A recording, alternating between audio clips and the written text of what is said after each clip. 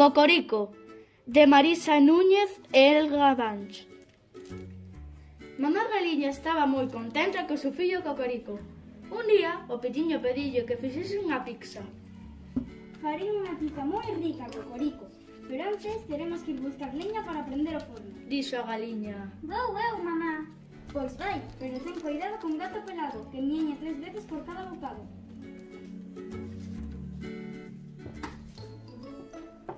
Estaba Cocorico apañando paus co pico e de repente sentiu marramiau, marramiau, marramiau. O pobre pitiño se moveu unha pruma, dixo Non me comas, gato pelado, que son pequeniño. Mamá vai facer unha pizza e teño que levar a leña para prender o forno. Pois se non queres que te comas, terás que darme media pizza.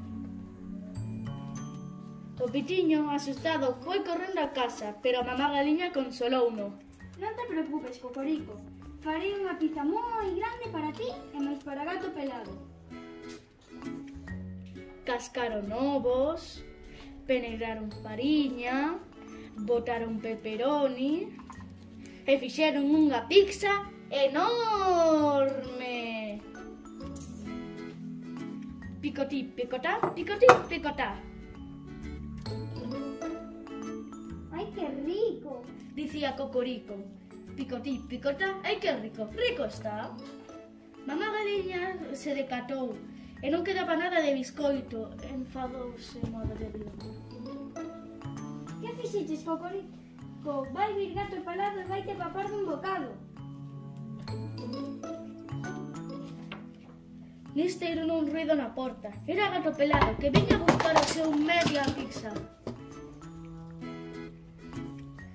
galiña correu a agacharse co pitiño nunha ola de barro.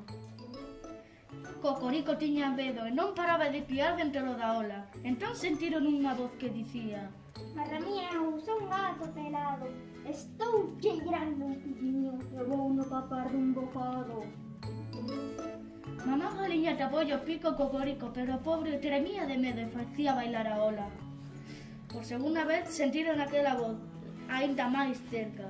Marra mía, son gato pelado Estou oindo un pitiño Vou me papardo un bocado Cocorico, copico tapado Estaba morto de medo Mamá Galiña abrazou no moi forte Por terceira vez sentiron aquela voz xa riba da ola Marra mía, estou vendo un pitiño e vou no papar dun bocado.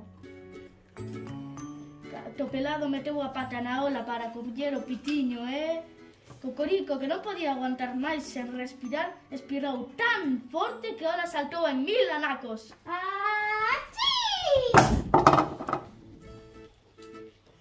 Gato pelado pensou que a casa caía e cun dente roto no ollo morado puxou correndo dicindo Marcho, disparo, marcho aquí disparado, que se mesmo gallo pegado.